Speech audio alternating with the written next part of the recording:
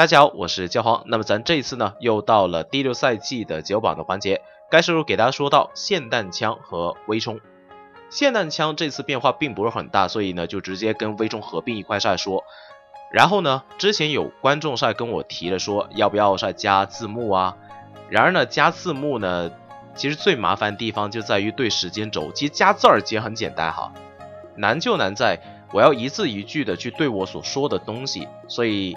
要说的东西吧，这一次呢，我都会在对应的解忧榜的备注部分给大家全部说明。这样的话，我基本上其实就是对着备注上来念就行了，大家也可以看着比较方便。好了，那么马上给大家看这次的解忧榜。一开始咱们说到了霰弹枪没啥变化，确实如此。霰弹枪现在的环境，无论说是低中高级区都很稳定。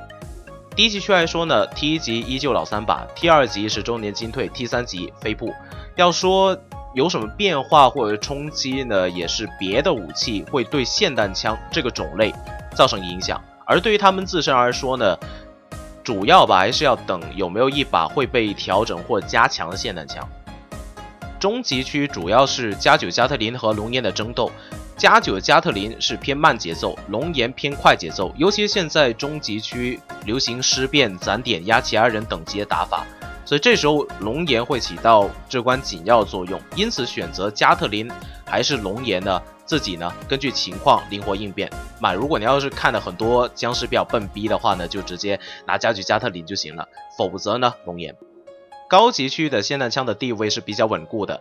叉幺二呢，无论说是谎言还是说普通版呢，没有实质性的差别。谎言能做到的事情呢，普通版也能做得到，只要加上技能足够了，就有刷屏的能力。天龙也是永远的神，技能不够，天龙来凑。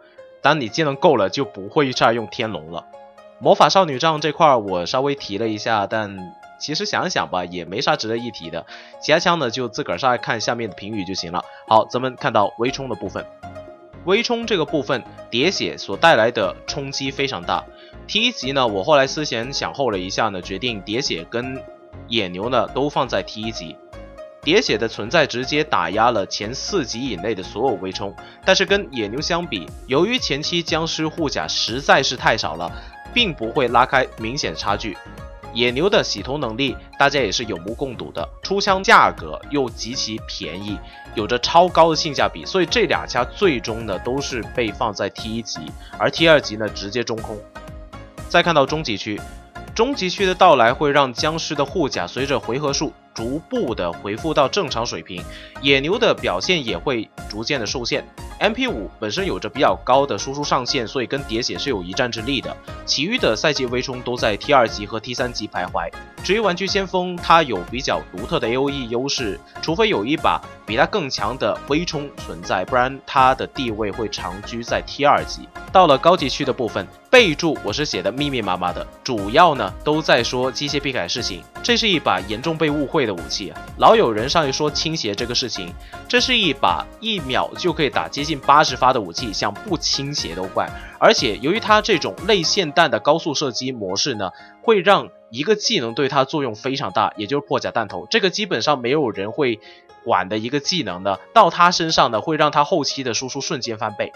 爆炸弹头这个技能在后期是每十发触发一发的爆炸，那也就是说等同于是提高了它的射速，所以这两个技能是看着平时咱们是没啥用啊，实际上在机械臂铠身上呢会有非常大的作用，而且这俩技能呢很容易得到。机械臂铠本身又是很稳定的枪，非常容易在后期洗头，那一旦洗起头来的话，它的那个输出就会非常的高，所以呢这把武器啊，我是真的觉得。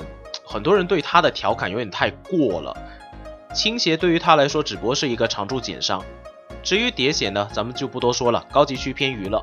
好了，那么咱们这一期视频呢就给大家做到这里啊，喜欢这期视频的观众呢记得把向上大拇指长按下去，谢谢各位的一键三连，在直播时候呢也别忘了多送一波礼物，咱们下期的视频不见不散，感谢各位的观看。